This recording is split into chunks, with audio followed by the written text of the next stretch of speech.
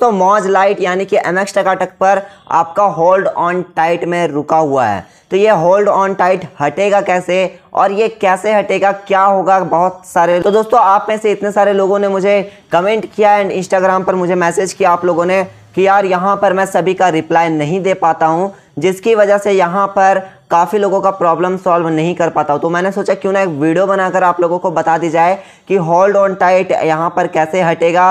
Well begun is half done अगर आपका है तो वो कैसे हटेगा? तो दोस्तों, इस वीडियो को आप लास्ट तक देखिएगा, आपका सारे प्रॉब्लम्स का सोल्यूशन हो जाएगा, ठीक है?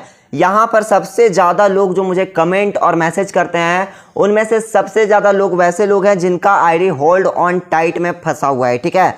तो अगर आपका आईडी भी होल्ड ऑन टाइट में है कुछ इस तरीके का तो आपको चिंता करने का ज़रूरत नहीं है, ठीक है? सबसे पहले आप समझो कि होल्ड ऑन टाइट का मतलब यहाँ पर होता क्या है।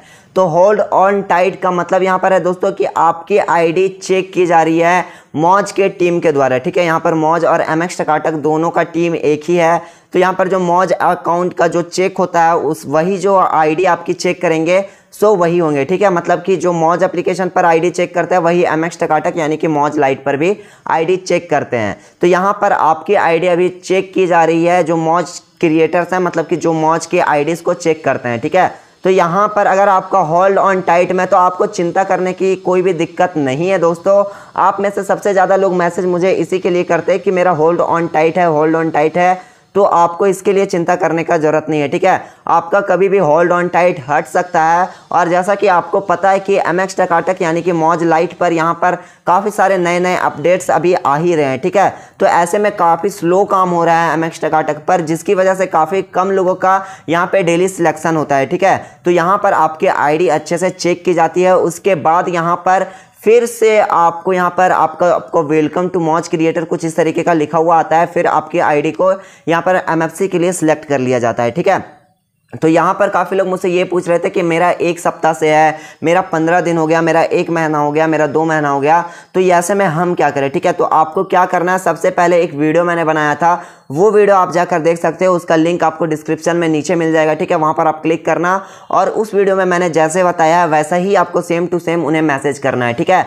और ये मैसेज करने के बाद आपका एमएफसी में सिलेक्शन हो जाएगा, ठीक है? उसके बाद अब हम बात करते हैं कि well begun is half done अब जिनका well begun is half done आ रहा है, उनको क्या कोई प्रॉब्लम है? तो यार आपको ना थोड़ी सी प्रॉब्लम यहाँ फेस करनी पड़ सकती है, ठीक है? आपको थोड़ा सा टेंशन लेना पड़ सकता है, क्योंकि well begun is half done का मतलब यहाँ पर हो गया कि आपका आईडी इतने दिनों के बाद चेक किया जाएगा, या फिर आपकी आईडी जो है तीस दिनों के बाद फिर से यहाँ पे चेक की जाएगी, और उसके बाद अगर आपका आईडी में सब कुछ सही रहा तो आपका यहाँ सिलेक्ट कर लिया जाएगा। अगर आपकी आईडी में कोई यहाँ पे प्रॉब्लम हुई तो उसे आपका आईडी जो है, उसे यहाँ से एमएफसी से रिजेक्ट कर दिया जाएगा, ठीक है? उसके बाद आपको एमएफसी का फॉर्म फिर से फिल करना होगा एंड यहाँ पर आपकी आईडी पूरी तरीके से ख़राब हो जाएगी। तो अगर आपका यहाँ पे well begun is half done लिख के आ रहा है तो आपके अगर जितने भी चीज़ मैंने आज तक वीडियोज़ में बताए हैं, उन सब चीज़ों को आप करना ठीक है? जैसे कि जो वीडियोस आपकी नहीं है, आपके फेस की नहीं है, उन्हें आपको डिलीट कर देना है। जो वीडियोस एचडी में नहीं है, उन्हें आपको डिलीट कर देना है, ठीक है?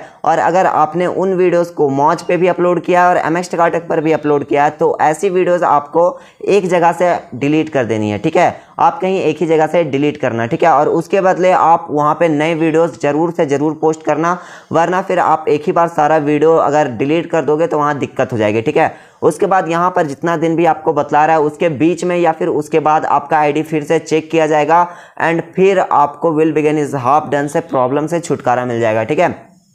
तो ये आपको करना है एंड आपको कोई भी टेंशन नहीं लेना है। दोस्तों, आपका भाई जब तक यहाँ बैठा है, आप में से हर एक क्रिएटर का सिलेक्शन मैं करवा के रहूँगा। एंड आज की वीडियो के लिए बस इतना ही दोस्तों, आप एक लाइक ज़रूर कर दीजिएगा चैनल को सब्सक्राइब ज़रूर कर दीजिएगा, क्योंकि हम ऐसी वीडियोज़ हमेशा लेकर आते रहते हैं। तो अभी क्या करना है, अभी मिलता हूँ कोई नई वीडियो में, तब तक के लिए जय हिंद, जय भारत दोस्तों।